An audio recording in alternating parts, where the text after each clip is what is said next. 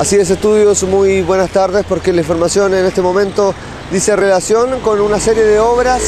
y algunos eh, desvíos de tránsito que está realizando en este caso el municipio de San Antonio, el departamento de obras, el departamento en este caso la dirección de tránsito y también carabineros eh, en el centro de San Antonio y también en parte de Yoyeo eh, respecto de proyectos de remodelación urbana, tanto eh, como les decíamos, en San Antonio, en este caso en el Puente Arevalo y su remodelación total, así como también la licitación de algunos sectores de Yoyeo, en este caso la calle Inmaculada Concepción, que también va a ser intervenida para ser renovada completamente. A continuación pasamos a escuchar las palabras de algunos de los actores que estuvieron presentes en esta rueda de prensa, partiendo por supuesto por el alcalde subrogante Manuel Abarca, así como también Armando Sabac de la Dirección de Obras Municipales, eh, eh, Daniel Bravo de la Dirección, en este caso de Tránsito, y también el capitán Diego Rojas, subcomisario de San Antonio, quienes comentan un poco más los detalles de estas obras y también de los desvíos de tránsito que se realizarán en relación a estos mismos trabajos. El día de ayer se ha firmado un decreto alcaldicio en el cual se ha dispuesto el cierre de lo que es eh, el puente Arevalo,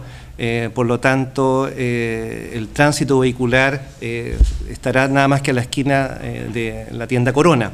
Eso por un plazo de 50 días. La rampa propiamente tal que accede desde la calle Barros Luco hasta 21 de mayo,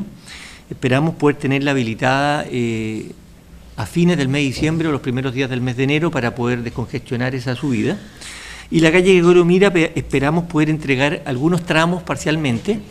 por ejemplo el tramo entre Bombero Molina y Lauro Barros durante el mes de noviembre. Y, eh, luego de Bombero Molina hasta Guayipén a fines de noviembre o principios de diciembre y esperamos tener la obra terminada. Eh, lamentablemente nos vamos a cruzar con el verano, no, vamos a poder alcanzar a terminarla, pero esperamos ya poder tener el tráfico completamente habilitado en la calle Gregorio Mira al- a fines de enero o en el mes de febrero. Le hemos quitado prioridad a los vehículos que vienen llegando a Santiago para que podamos tener un, mello- un viraje más, más fluido desde Balmacea hacia San Antonio de las Bodegas y asimismo la cantidad de vehículos que baja de San Antonio de las Bodegas baje rápidamente, se tapó el, sea el paso que está en el lugar para que pueda salir de inmediato a Balmacea. Recu- eh, recordarle al conductor la importancia de cuando hay obras viales hay que tomar una velocidad razonable y prudente. Eh, va a estar bidireccional, nosotros vamos a tener controles de velocidad permanente en el sector y además controles en la noche para evitar que algunos ocupen ese sector para andar a alta velocidad o hacer maniobras de adelantamiento que van a estar prohibidas. Hemos, hemos estado nosotros en, forma constante viendo cómo se ha ido desarrollando el proceso de los cambios en Balmacea de la, bi- en lo, en lo que corresponde a la bidireccionalidad que se genera en el sector y que es lo que estamos haciendo, vamos a recorrer en forma más constante con el fin de, de ir eh, generando más señalización, eh, ir reforzando la que ya está con el fin de que se eviten accidentes y los conductores que transitan y los peatones lo hagan en forma más segura. Y es muy posible,